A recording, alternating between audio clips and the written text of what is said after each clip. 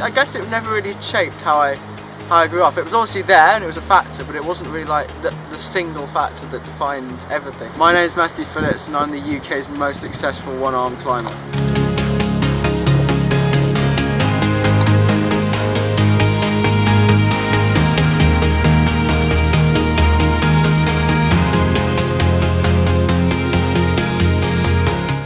Uh, so when I first decided to try climbing, I was 14.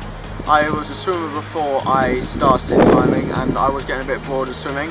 So I was looking for a new sport and I went along to the Paraclimbing National Series that was held in Castle in London and I managed to come second in that and so I thought this was something I might take up. So growing up with one arm, I never really had any any issues with it. I was I was quite lucky in the fact that people were normally quite accepting and willing and I've always been quite an active kid so I've always been trying to do stuff that uh, other people say I can't do so I've always been trying to overcome the difficulties I faced and so I, I, I don't know I, I, guess it never really shaped how I how I grew up it was obviously there and it was a factor but it wasn't really like the, the single factor that defined everything about it.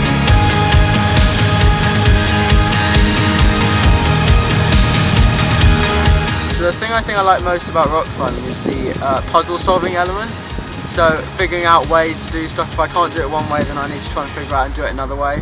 And that's really fun. And obviously it's also quite a physical sport as well, so it's cool to be doing big dynamic moves as well and fun stuff like that.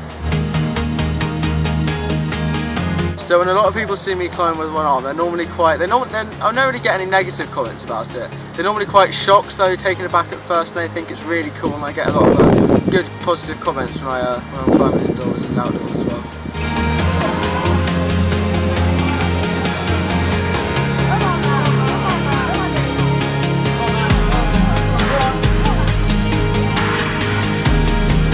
So I think I do have some advantages uh, when it comes to climbing against other people.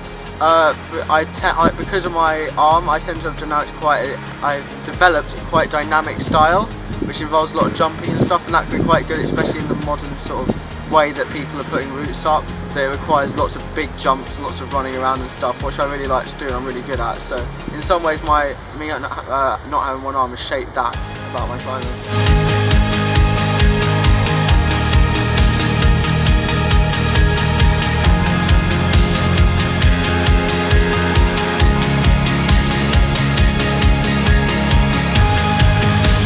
I've been fortunate to climb in a lot of places around the world thanks to climbing. I've climbed in Australia and around all of Europe as well. If there was one place in particular that I uh, want to go though, it's America, just because the climbing out there is really cool and like all the climbers out there are amazing. And hopefully I'll be planning a trip there soon.